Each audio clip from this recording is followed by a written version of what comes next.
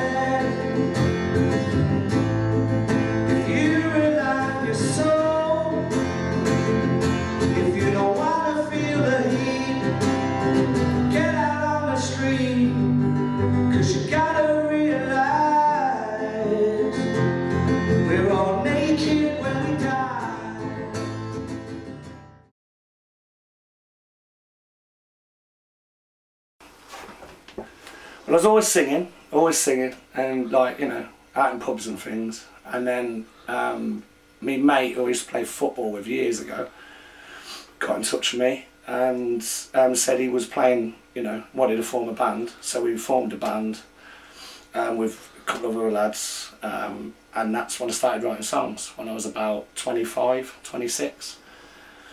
Um, and sort of went on my own after about four or five years of that because they didn't want to go out and gig. So I went on my own. Um, had to play the guitar, so I picked the guitar up and learnt loads more. And then got a keyboard in me flat and stuff, and then just wrote the songs from there. Yeah. Will you come see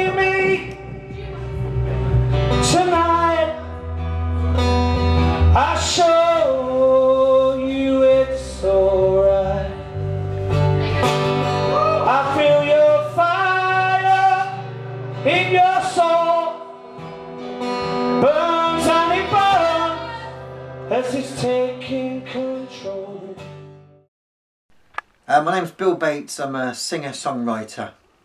Uh, when did you meet Matt? Uh, I met Matt years ago. Uh, we was in a pub, which is most unlike Matt, and uh, it was uh, an open mic night. And this young whippersnapper came on the stage and started playing, and everyone was like blown away. And I went up to him afterwards, and said, "Matt, you know, um, whose songs were they?" And he said, "They're my own." And I was just gobsmacked, absolutely gobsmacked, and I followed his career uh, Um, for years. And from then on, you uh, obviously you started working with him, and you did a couple of songs in his uh, first album, Three Chords and the Truth. Yeah, Will you just talk a little right. bit about that? Well, yeah, it was it was like uh, typical Matt. He'd rung me up last minute and said, uh, "Matt, I want a, a guitarist." I went, "Okay, I'll, I'll, I'll have a think about who I know." And he said, "No, I need a guitarist now." And I thought, well, okay, I'll, have a think. And he went, "No, I want you now. I want you to come down to the studio." So uh, I thought, right, I'll just drop everything. Uh, got in the car, went down there, and I'm in sort of Johnny Rufus' studio, and he's like, like you know one of the best studios in the country and uh, he says yeah I'll play on this thought, yeah right and we did and we just had a ball it was good good fun it was And uh, how, your general idea of his music, what do you normally think of just the general scale? He's done two albums. In his first, which was quite political, his second one's a bit more sort of grungy rock.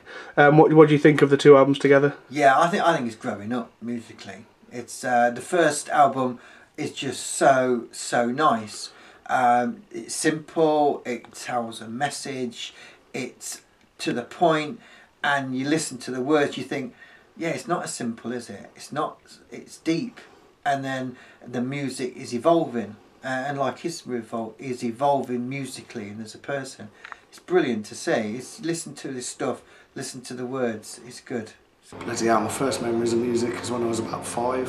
Um, that would probably have probably been um, an Imagine single in 1980 that was reissued um, by John Lennon. Um, and when I got to, say, probably about eight, my earliest mem- memories of the first scene I got into was probably hip hop, was Grandmaster Melle Mel, people like that. Um, and just the big, massive hip hop scene that, that came over to England from, from America. Um, and you know, and then sort of my brother at the time in in '83 was into the Jam and people like that, who I later on got into as I was getting into my teenage years. So I was sort of got into the Who, Um, loved the Who stuff. Quadrophenia was like one of the biggest iconic albums. You know, to me, it was sort of more of a lifestyle rather than music. Um, and then I got into sort of like the early sort of Britpop sort of years, which was like Oasis, um, The Verve, and people like that. But Paul Weller, obviously, um, he had sort of a, a, a big, a big, a big um, part to play in that as well.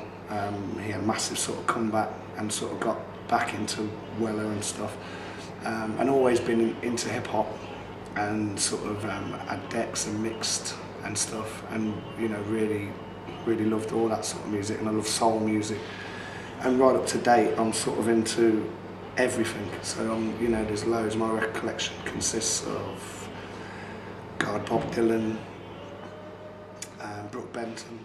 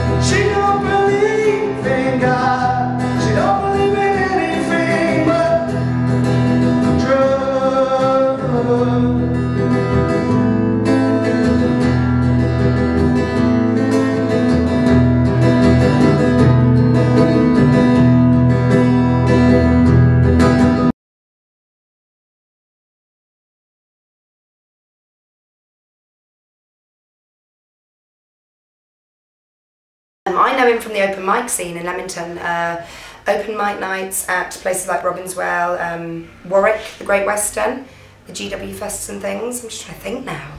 I do know him from um, open mic nights, really.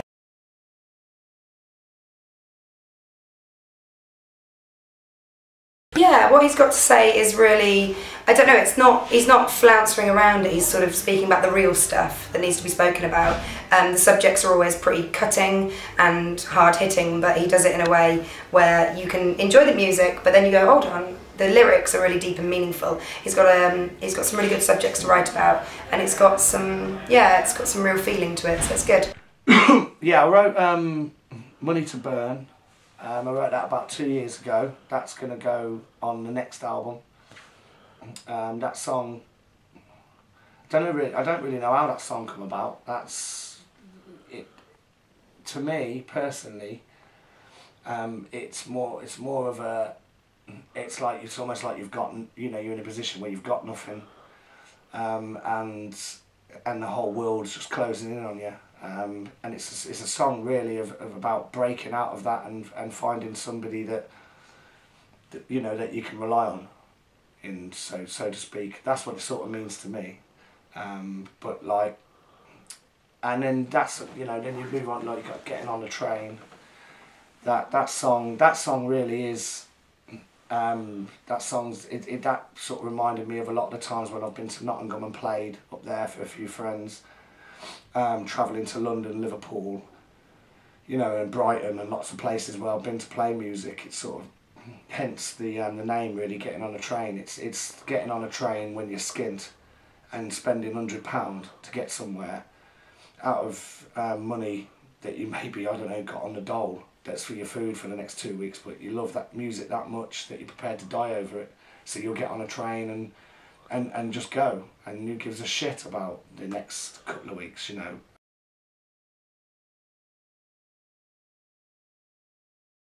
Yeah, it's it's um, it's, it's sort of a moment of before you go on, it's it's more like a bit of a buzz, um, which you probably could call nerves, I guess, but like it's more sort of excitement. You know, you can't wait to get out and play to people.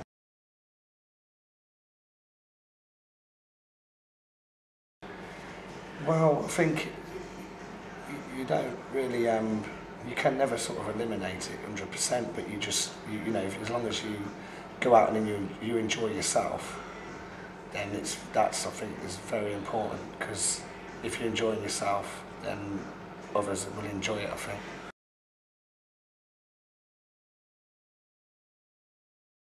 Yeah, playing Mathew Street, playing at the New Cavern was um, just absolutely amazing because it's such a such a cultural sort of place anyway. Um, there's a lot of music there. Um, people always say if you want to be famous, go to London. If you want to make good music, go to Liverpool. Um, I tend to sort of agree with that because everybody there is just so into music rather than um, money.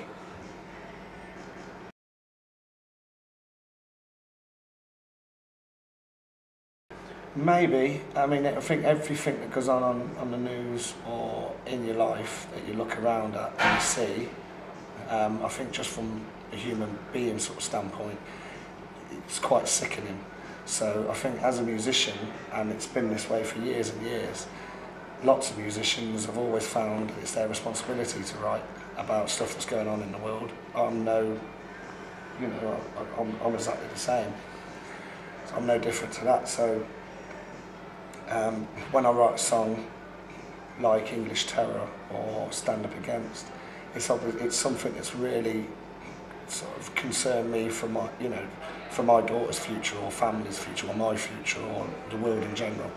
So I think that it's everybody's responsibility to sort of not sort of sweep it under the carpet, to actually think about it a bit more and um, you know try and work out how we're going to try and go forward. got. Apart from me, you bastards, because um, I'm rich. Only